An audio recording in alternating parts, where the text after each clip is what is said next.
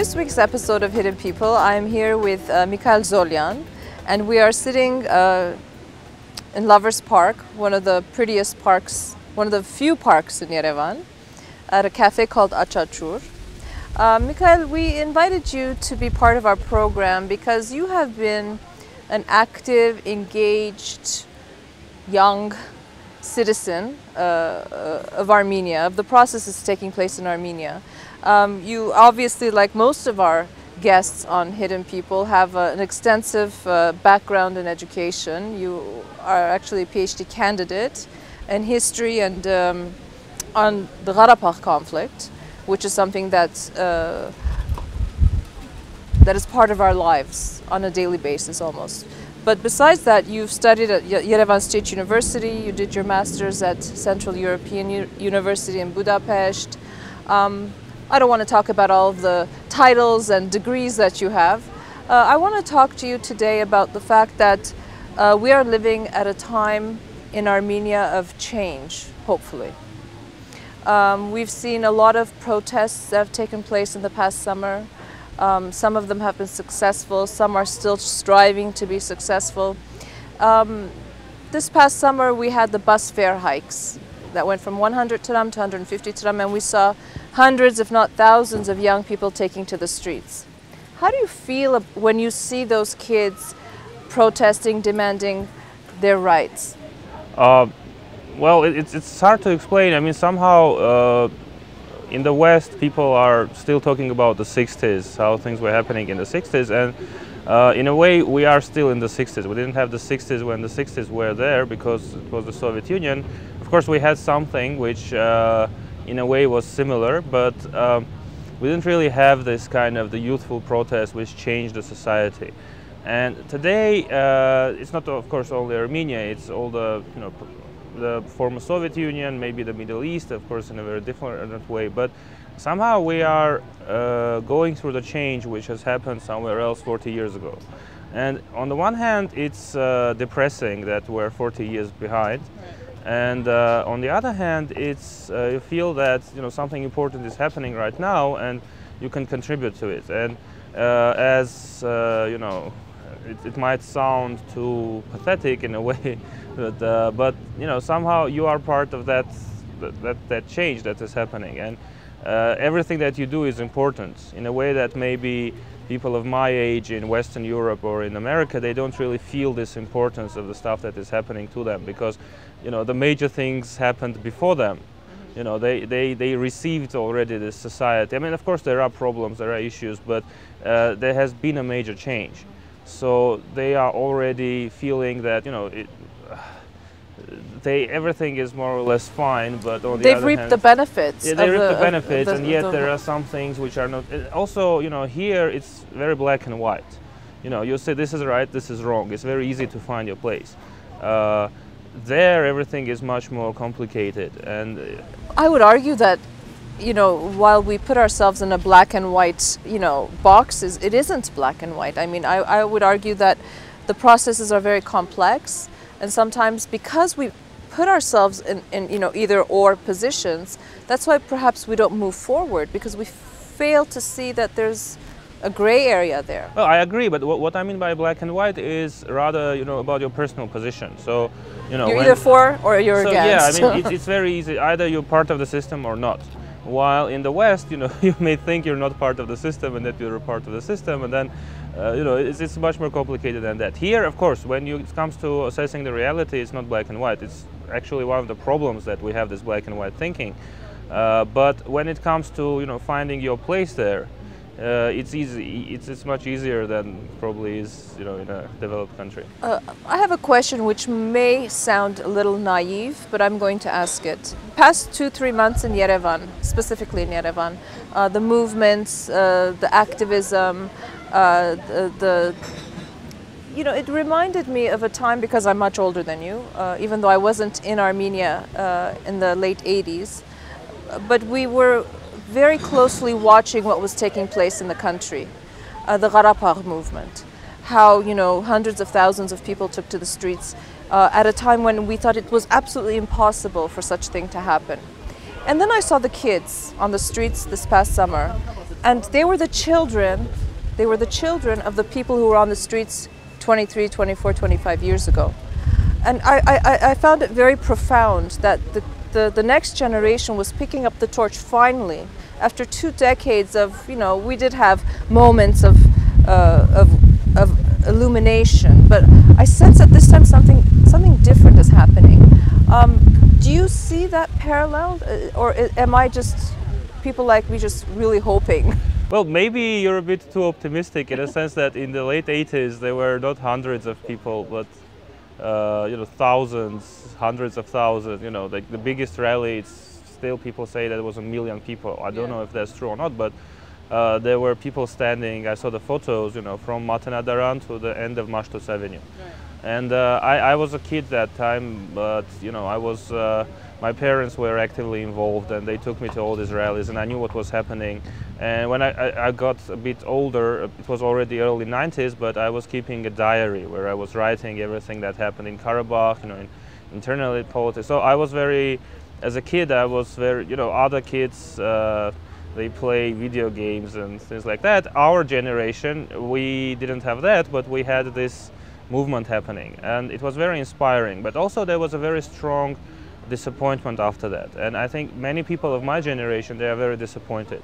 Maybe those who are younger than me, they're not so disappointed. So, in this rally, in this protests that are happening now, I see some people my age, but I see a lot more people younger than. That's right. And uh, I'm very glad about that. But also, I would say that you know this kind of tradition it never really stopped. So it's just that now we have uh, Facebook, we have internet uh, news, we have uh, you know something like Civilitas, which never existed before because it was either television or newspaper. you know. Right. So now it's just these movements they get more covered. But in the 90s there were movements. There was in the early you know about 10 years ago there was this movement Sksela, which Right, it's of course, it, I remember, it yeah. started and uh, I think that they, they were pretty much the you know uh, if there had been Facebook at that time we would have all known about it much more That's right, because they yeah. were very efficient in organizing this kind of protest and also they used very non kind of not straightforward methods you know. They- Non-traditional methods, yeah I mean they were not uh, they were very creative unfortunately there was no Facebook and uh, yeah, social media has really impacted our lives uh, tremendously.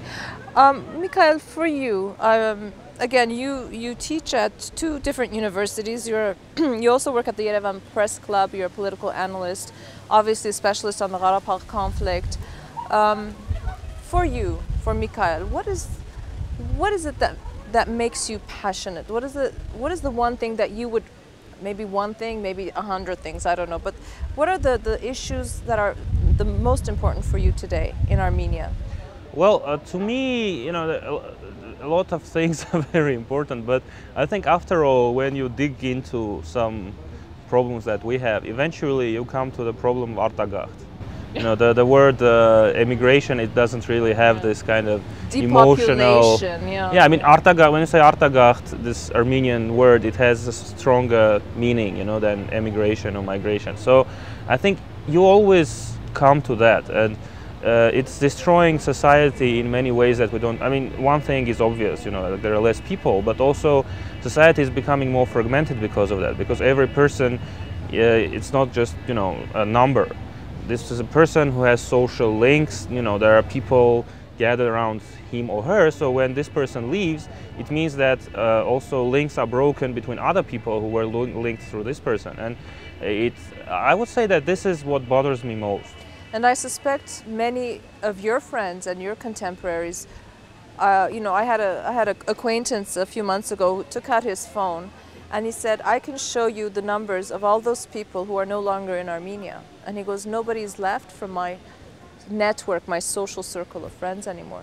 Well, I, I, would say I'm more lucky, but also maybe, you know, it's. Uh, Or you hang out with the kind of people who want to maybe stay yeah and fight. maybe i hang out with other people who want to stay or but yeah that's you know a lot of my friends are not around uh, they live somewhere else and um, it's it's hard for them as well i mean it's, it's not a land of milk and honey over there so but i, I think the problem is that uh, yes things are not so good here but they're not so bad either But there's this kind of mentality that you know by leaving you can solve all your personal Right, problems.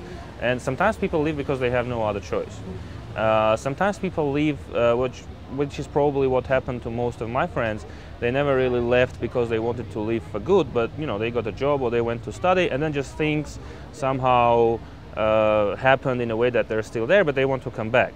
So that's one thing. But also there is this kind of mentality that I see in people, and you know just if you've taken taxis in Yerevan and you talk to taxi Many drivers, uh, you see, you know, this is somehow uh, kind of the answer to all their problems. You know, they got stopped by you got stopped by the traffic police. Let's leave Armenia. I don't know. Yeah, Your the tax is, department yeah. he came after you. Let's Yeah. leave Army. Yeah, You know, I- even not you know just your neighbor is loud at nights. Yeah, rather than go and knock on his door and tell him to shut up. Uh, this is not a country I'm leaving. You know, so that that's what makes me. But what, the, you know, uh, we can talk certainly uh, much longer about this. Um, why is it, you know, I, sometimes I think we're like professional nomads. We're like constantly moving. Those who are here want to leave. Those who are outside in the diaspora think and dream about coming, and yet they don't. Um, why is it that? I don't even want to say this, but you know, just to say it out loud makes me cringe. But why is it sometimes that we don't want to stay and fight? I, I Is it because that- the problems are too big? No, I wouldn't say that. I mean, problems are big. In, I mean, one thing is that Armenia is really small, and it, you know, uh, Everybody half of knows its, everybody. Yeah, half of its neighbors are hostile. So you know, sometimes you just you could psychologically it's understood. You know, you can get tired of roaming the same streets, or and you can't. Basically, it's you know, if if you get tired of Yerevan, you know, there's no other place you can go because there are no jobs. You know, also also because it's too centralized. So the jobs are in Yerevan and nowhere else. It, you know, uh, that's that's also quite uh, quite an issue. But uh, I think the root of the problem is that we still have some kind of, you know, uh, old medieval understanding of the nation. You know, the nation is defined by, you know, your not even culture, but you know, some very specific things like your religion. You know, the food you eat. You know, the way you behave in the family. While modern nations are defined by other things. You know, so we somehow have the illusion that we can keep being Armenian even if we leave Armenia. Well, maybe the person who left Armenia will still, you know, But not their children but not their their children and grandchildren, grandchildren. Also, we have the example of the kind of you know what, what people call traditional diaspora, but what we for, because they remained Armenian for a long time, even though in these communities you have the young generation. Often they don't speak Armenian, and you know they're not. Uh, they don't feel as strongly Armenian as their fathers. But in this case, these people didn't choose to leave Armenia. They were forced to leave Armenia, so they had a stronger incentive to keep their. Uh, Armenian I agree with you 20 years ago, but today, today I'm seeing a lot of people in your generation, upwardly mobile, if we can call them that, who have good education, who have pretty decent jobs, who, who earn comparatively good, uh, who earn good money. They are the ones that are leaving too. Yeah, I mean, part of it is the the system here. That you know there are certain limits to what you can do, and unfortunately, uh, you people who have good education, who are you know have good, uh, they're let's say they're programmers, and they can see that programmers of the same uh, quality make you know, 10 times more money in the US or in Europe, and of course they have this uh, very strong incentive to leave. So that's part of the problem. Another part of the problem is that um you know somehow they don't really see a beacon of hope. I mean, it sounds very uh, kind of you know in bad style, but they don't really see some kind of you know they, they say yeah this is bad this is bad but okay we have this part of the society which can become the game changer they don't really see that so i think it was it's uh, several years ago when the political situation was different and there was a strong political opposition. A lot of people their, their lives were hard but they still had some hopes. They were thinking okay the government will change and maybe things will get better. And uh, every time people understand that the government will not change there's a new wave of immigration.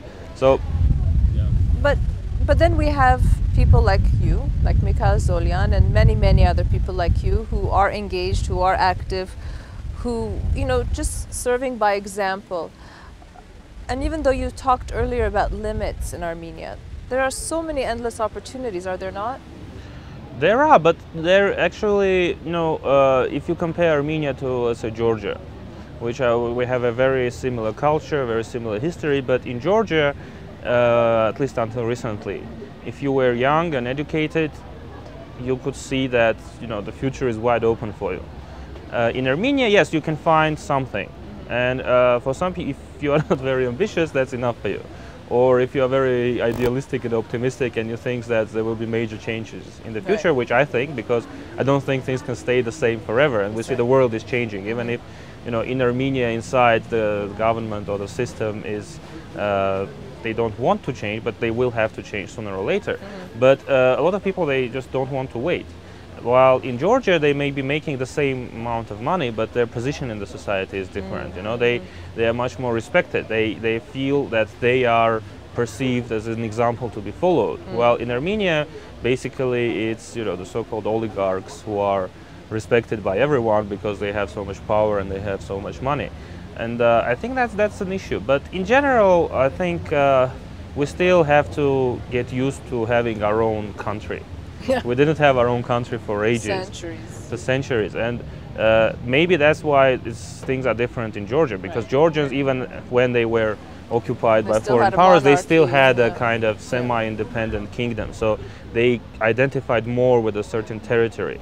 While for Armenians it was a church, but church is not linked to a territory. I mean, you could be Armenian in uh, India. India. exactly. Mm -hmm. So uh, it takes time to change this kind of perception. Right. Um, and just on a final note, Mikael, what would you like to see changing? I mean, again, these are very broad questions, but sometimes we have to ask the big questions then to somehow break it apart and see which component we're going to push forward.